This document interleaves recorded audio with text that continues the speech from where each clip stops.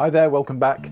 Uh, today we're making a wild garlic and celeriac tart. The wild garlic's doing wonderfully at the moment, so a perfect time to use it. So this is the recipe, 500 grams of celeriac, that's one decent sized celeriac, 15 wild garlic leaves, 100 millilitres of milk, 3 eggs, some salt and pepper, 100 grams of strong cheddar and enough pastry to line a flan dish. So the first thing we're going to do is peel the celeriac uh, really simply done. And once we've peeled that, it's all nice and clean, we're going to chop that into a dice. Chuck it in a pan, uh, cover it with water, and we're going to boil that until it's soft. It will take about 15 minutes. Um, then we're going to pop that into a blender uh, with the wild garlic leaves and the 100 millilitres of milk and we're going to zhuzh that up until we get this sort of green paste that I'm now putting into a sieve.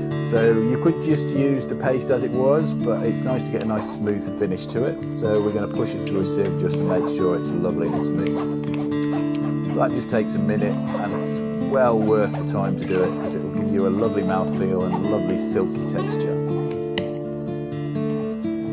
So once we've, uh, we've got all that pushed through the sieve, we've got this lovely puree, we're going to add to that some eggs. So uh, the eggs just will set um, the filling for the tart. So we need three eggs, three standard eggs in here. So we crack those into the mix.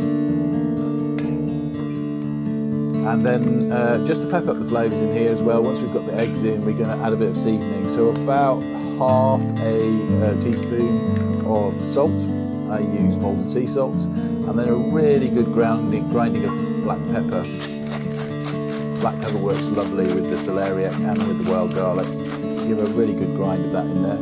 And then mix that up again so we get a good smooth taste. And this is effectively like a custard that you would put into a tea.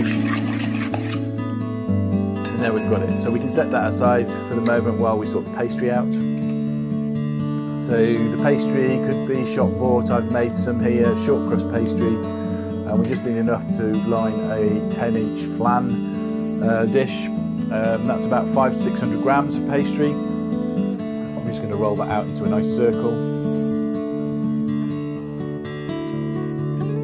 So you could roll it as thin as you like. This is fairly rustic, but I like pastry, so uh, there's plenty in there. So once we've done that, what we want to do is line flan dish. I've um, buttered this first, so it's greased, so it'll release easily. So we want to line that completely. And then once we've lined it, what we're going to do is just uh, dock it with the fork just to make sure it doesn't rise too much. And then we're going to blind bake that for about 10 minutes at 180 degrees. And once that's out of the oven, we can put in the cheese. So this is 100 grams of strong cheddar grated. And we're going to put that into the case and spread it out nice and evenly right the way through the case. The cheese works wonderfully with celeriac and with the wild garlic, uh, and the stronger the cheese, the better, really. So once that's all laid out, we're going to put the custard on top of it. So scrape that all in on top.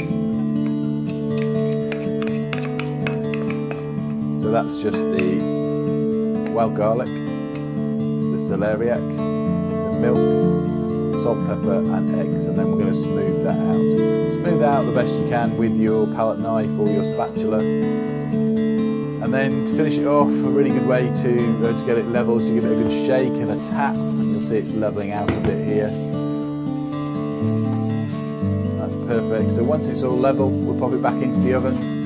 Uh, about 170 degrees, it'll take around half an hour, maybe a little bit longer, but just check to make sure um, that it's set. And when it's set, it'll look like that. You can cut it into segments, garnish it with a few wild garlic flowers, have it with salad. Delicious little tea.